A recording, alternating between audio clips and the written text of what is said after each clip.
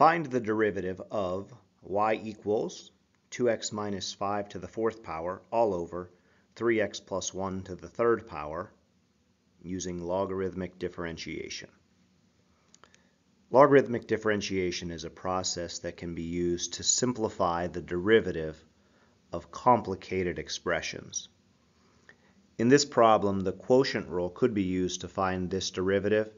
Inside the quotient rule, you would have to apply the chain rule twice or expand the numerator and denominator.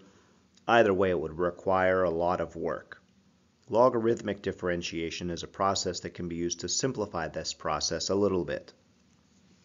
And logarithmic differentiation is based on taking the natural log, or the log, of both sides of an equation as the first step.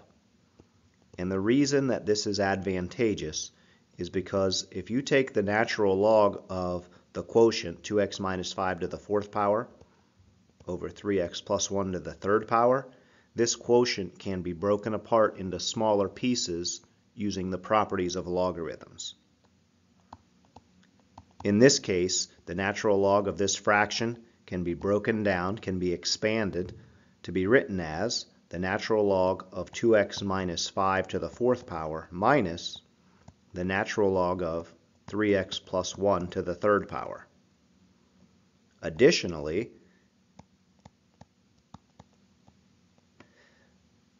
Each of the terms on the right side of this equation have an exponent that can be moved to the front of the natural log.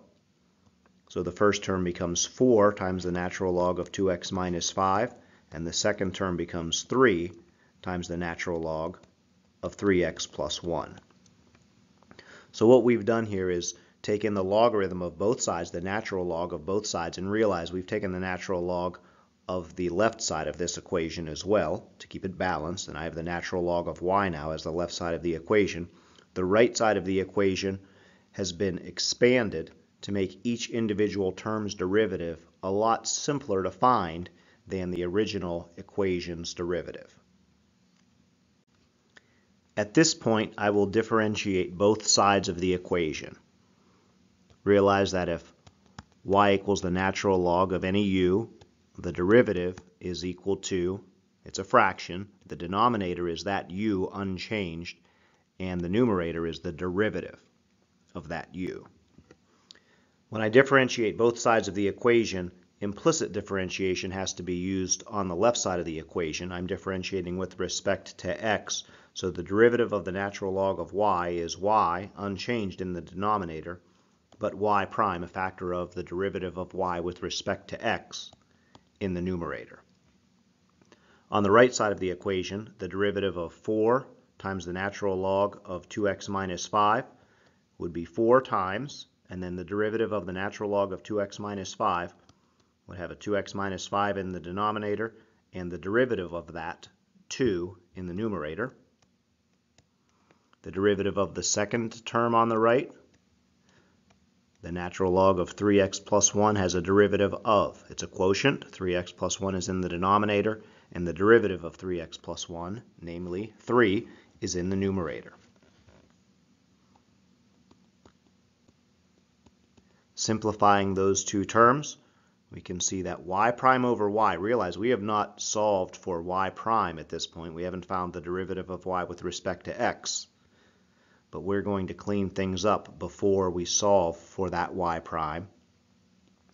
On the right side I have 8 over 2x minus 5 minus 9 over 3x plus 1.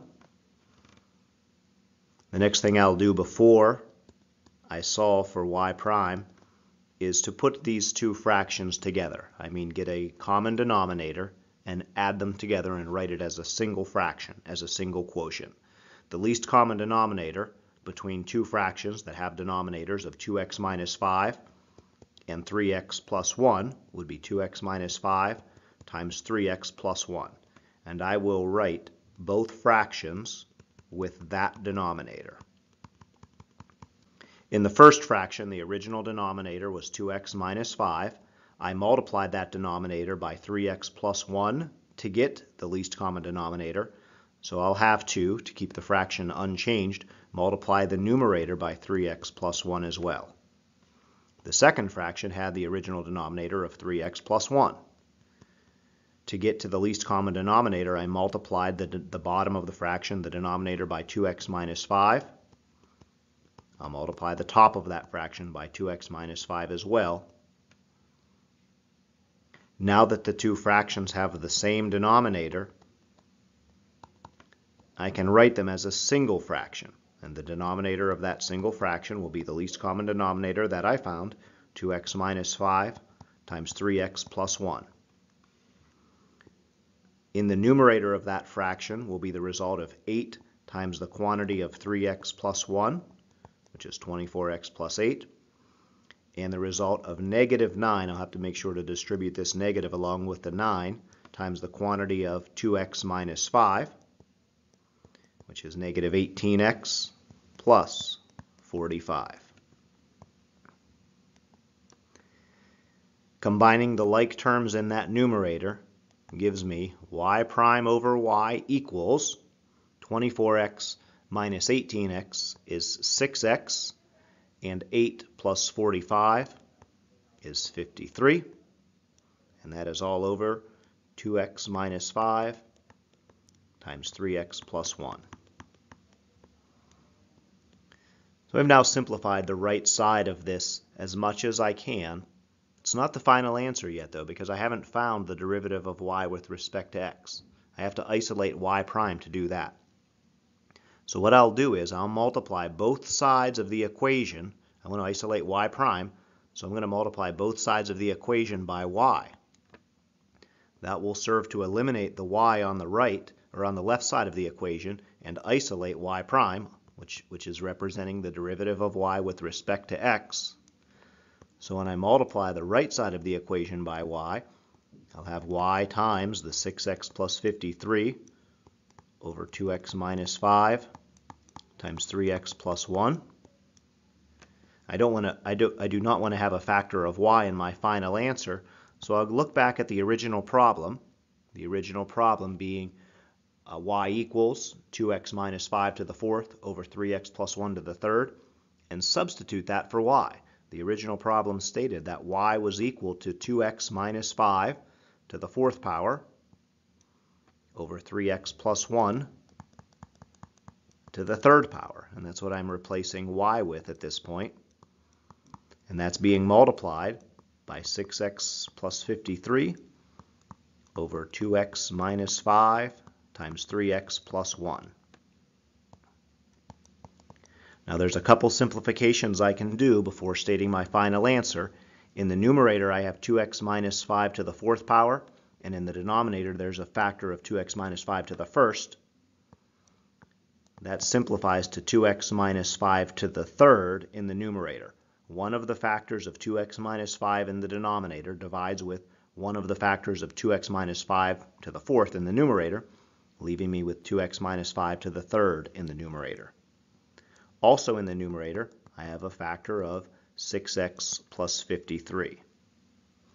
In the denominator, when multiplying across the numerator and across the denominator, I'm going to be multiplying 3x plus 1 to the third and 3x plus 1 to the first power.